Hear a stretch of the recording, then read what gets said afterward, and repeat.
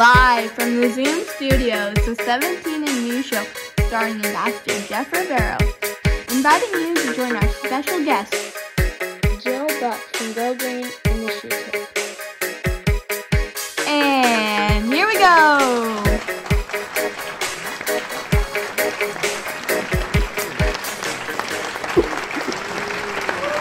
Welcome to the 17 and You Show, United Nations 17 Sustainable Development Goals Show. Our guest on tonight's show is Jill Buck. She's the founder of the Go Green Initiative, the host of Go Green Radio, the author of the book 47 Things You Can Do for the Environment, and she was a Navy officer. Speaking of the Navy, why do Navy SEALs dive off backwards? Because if they dove off forwards, they'd still be in the boat. Out of all the days in a year, which days do soldiers like the least? March 4th. I was in the library the other day and I found a book that had never been checked out before. It was by an English author, and the name of it was How to Defend Your Fort. Oh, the author's name? Sir Render. The prices for next week's episode just doubled. Hopefully, Jill Buck has a better sense of humor than these people. And finally, what do you call a high ranking officer that doesn't recycle? General waste. Going have a great show for you tonight. Jill Buck's going to be out here. But first, here's a commercial break from our sponsors, the United Nations.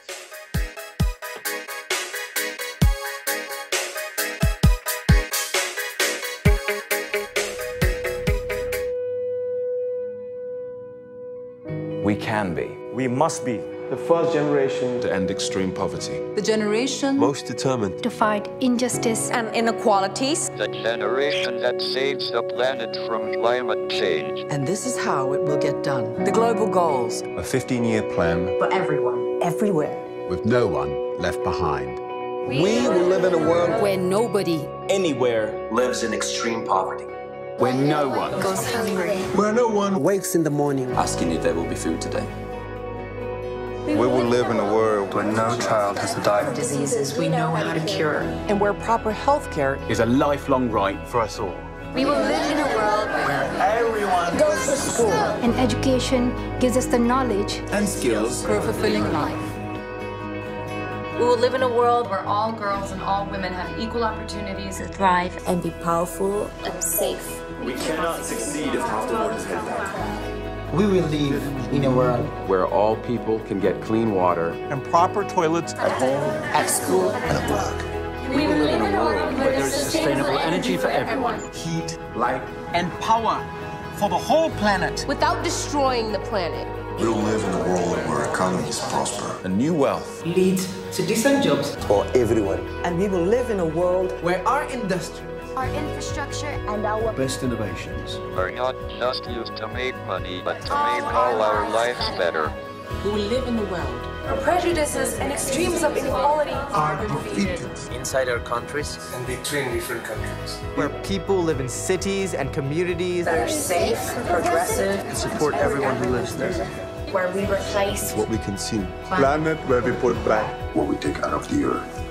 We live in a world that is decisively rolling back the threat of climate, climate change. Where we restore and protect the, the life in our, our oceans, oceans, and seas. Where we restore and protect life on land, the forests, animals, the earth itself. With peace between and inside countries. Where all governments are open. And answer to us for what they do at home and abroad. And the justice rules. With everyone equal before the law where all countries and we their people work together in partnerships of all kinds to make these goals a reality for everyone, everywhere. These are the United Nations global goals for sustainable development. Let's, Let's get, get, to work. work.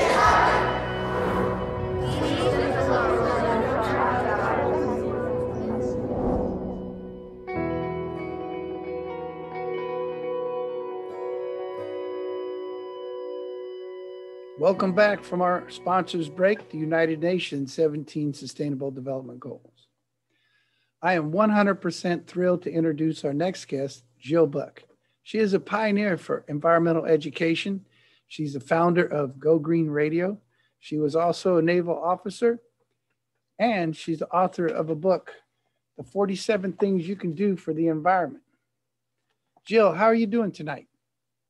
I am doing great, Jeff. Thank you so much for having me on the show. It's great to be with you and the wonderful students at Yosemite High School.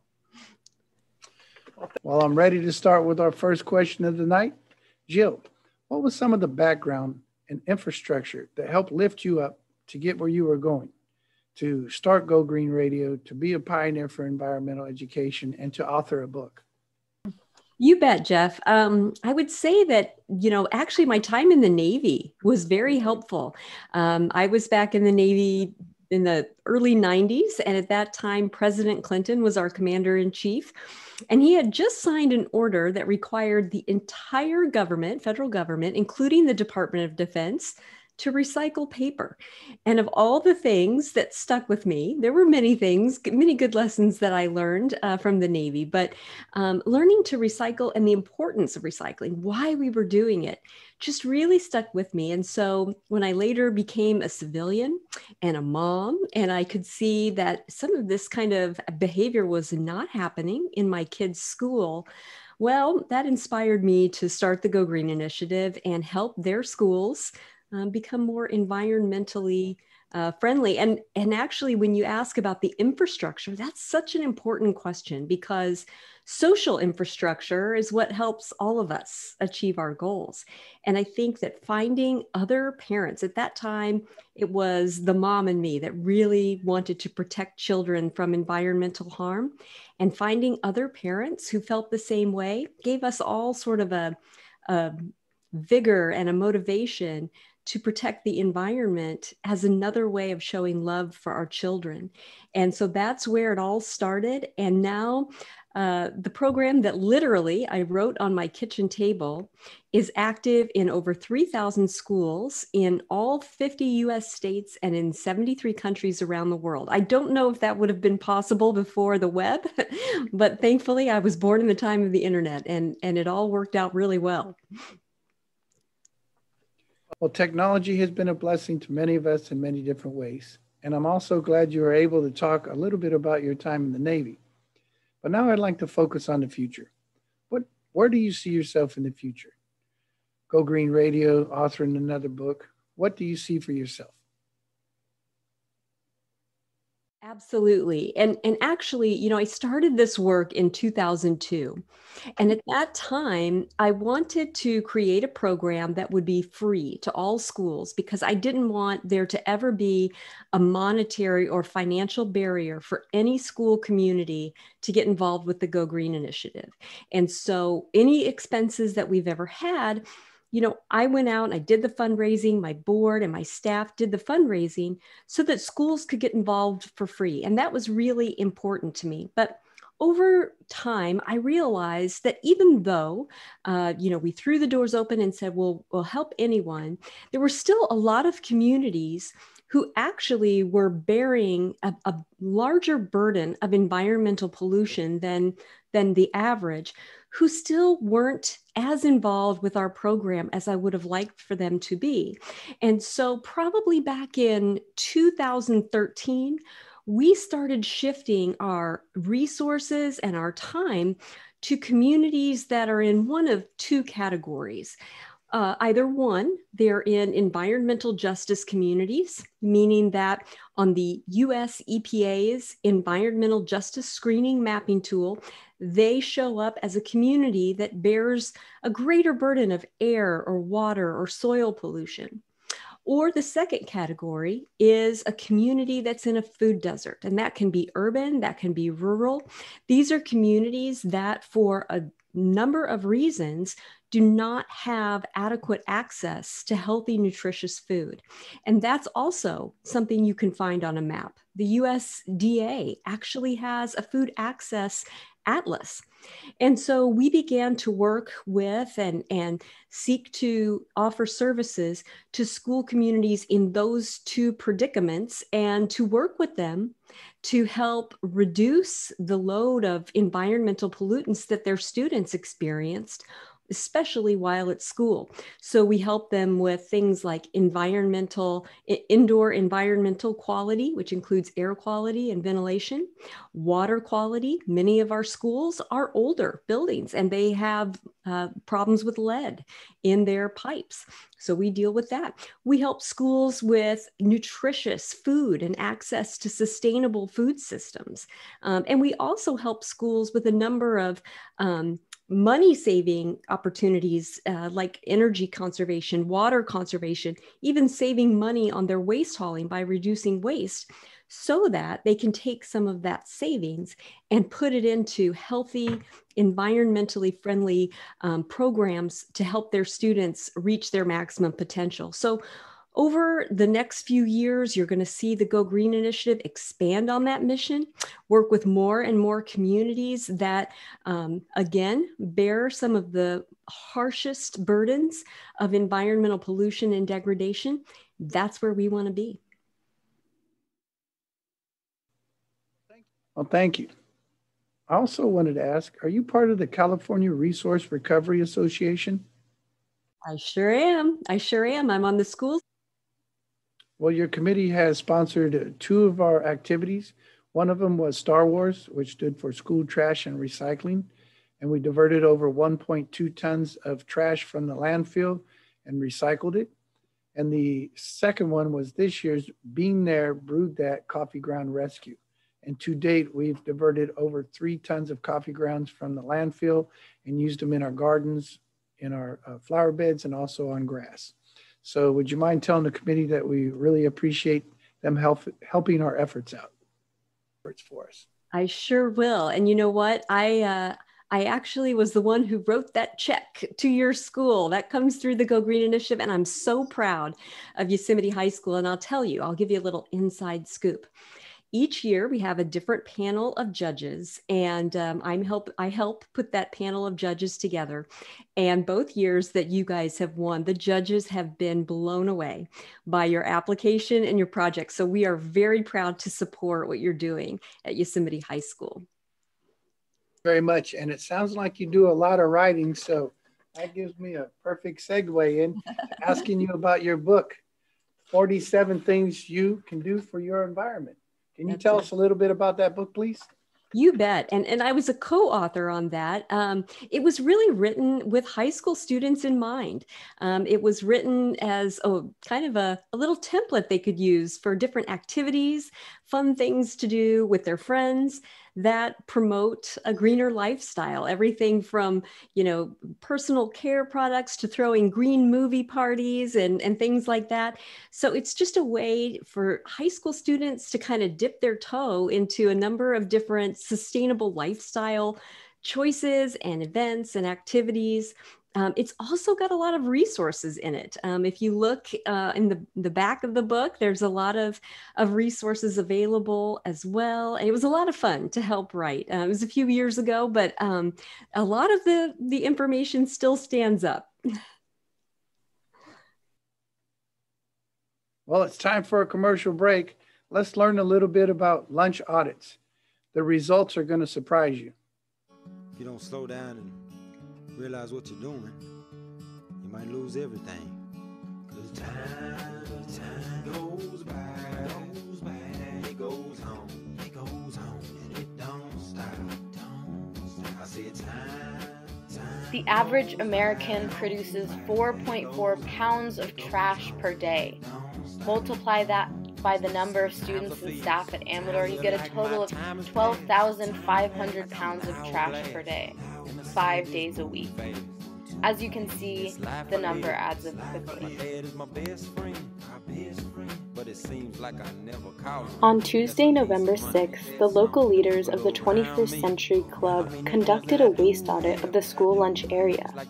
Essentially, what we did was dig through and separate through your trash from lunch that day.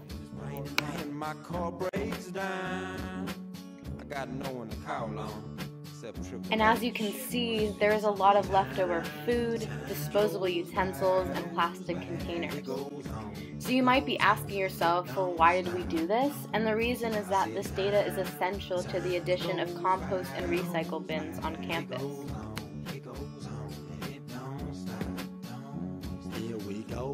That being said, we need your help. Starting second semester, we will have compost and recycle bin stations out in the lunch area. So instead of throwing your trash in one bin, you will have the option to reduce the amount of trash you send to the landfill.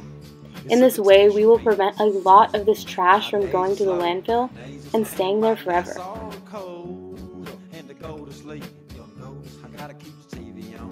With your help and participation, we can make Amador and this world more sustainable.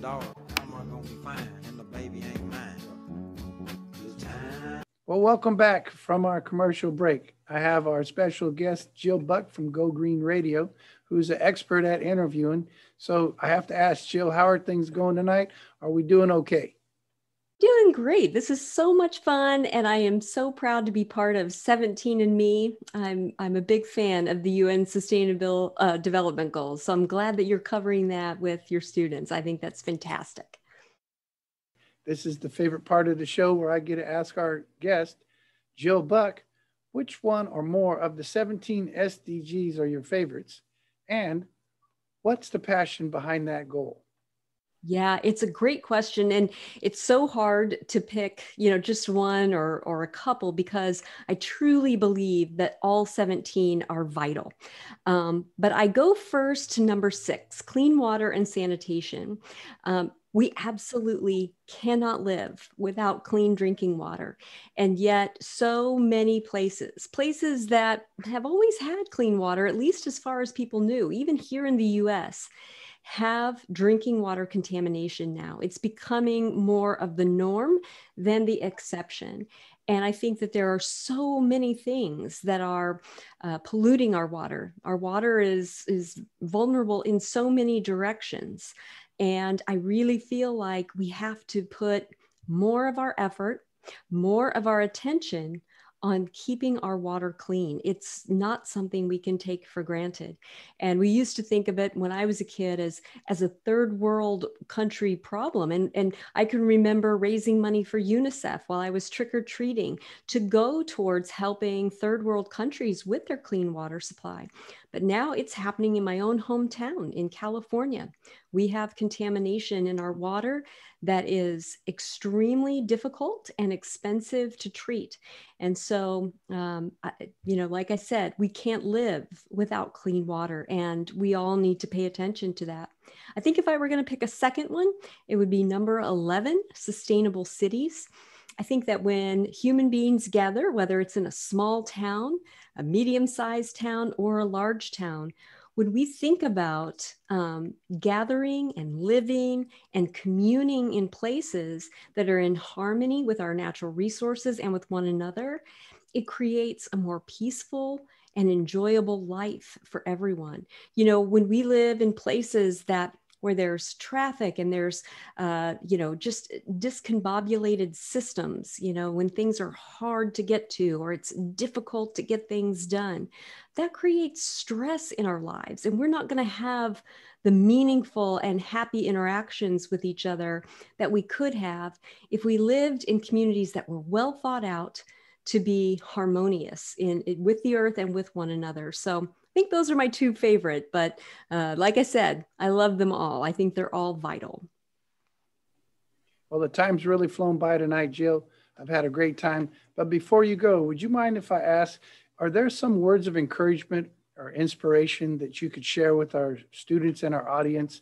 You know, with the pandemic, things have been stay at home and there's been a lot of stress on people lately. Would you mind giving us some words of encouragement to move forward? Bet, Jeff. I think for me, the greatest accomplishments, the things I'm most proud of in my life are the relationships I have with other people, not just my family and friends, but through the work that I've done, I've been able to work with people of all ages, of all backgrounds, in many different communities and countries.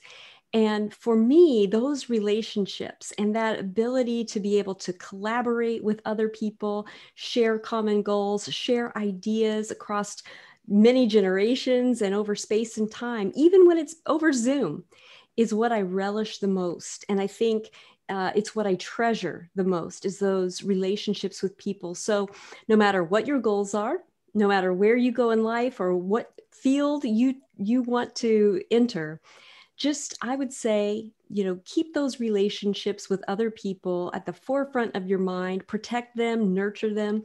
They'll bring you tremendous joy, no matter what you choose to do uh, in your life. Well, it's been an absolute thrill to interview the host from Go Green Radio. Jill, I really appreciate your time. Uh, is there anything that you would like to add? I know I kind of hogged up all the questions, but if you have something that you'd like to add, I really appreciate it. You bet. You know, we've in the last year, we've really begun to focus as a country um, on justice. And it means so many different things. Um, and it has so many applications. But my organization and I myself am very committed to environmental justice. And if that's a new term to you, I've got good news there's a lot of resources out there. Even the US EPA has a page on environmental justice. And I invite you to get out there, learn more about what it is, and the many ways that you can get involved in helping to bring environmental justice to everyone um, to, so that they can live in a place where they are not encumbered, they are not hampered by undue, unfair amounts of environmental pollution and degradation. So I would like to promote, you know, environmental justice for all. All right, Jill, before you go tonight, I wanted to ask uh, do you have any websites or links that you'd like to uh, forward to our audience to help them out with their uh, education or environmental education inroads? You bet. Well, the Go Green Initiative website is kind of the epicenter of all of our communication hubs. We've got all of our social media and everything we do um, linked there. So if you go to gogreeninitiative.org, that'll help you find all that we're up to. And actually, that website is about to get a revamp. So it's going to look pretty cool in a couple of three more weeks. And, um, and then if you want to listen to my weekly radio show, it airs live every Friday morning from 9 to 10. But after we air it live, it's archived on voiceamerica.com slash show slash 1303 slash go dash green dash radio. You can just Google Go Green Radio and it will come up. And every week we have um, some really great guests and subject matter experts on all kinds of sustainability topics. Well, Jill, when I bumped into you in Oregon at the California Green Schools Conference, uh, it was a real pleasure to watch your presentation and then talk to you afterwards. I knew you're a great person and I was really hoping that you'd be on the show tonight. So thank you very much. I really appreciate it. It's my pleasure, Jeff. Thank you so much for having me. It was a great, great honor. Well, thank you very much for watching this episode of the 17 and Me Show. If you would like to learn more about the 17 SDGs or teach it in your classroom, please go to teachsdgs.org. Looking forward to seeing you on our next episode. Have a great night.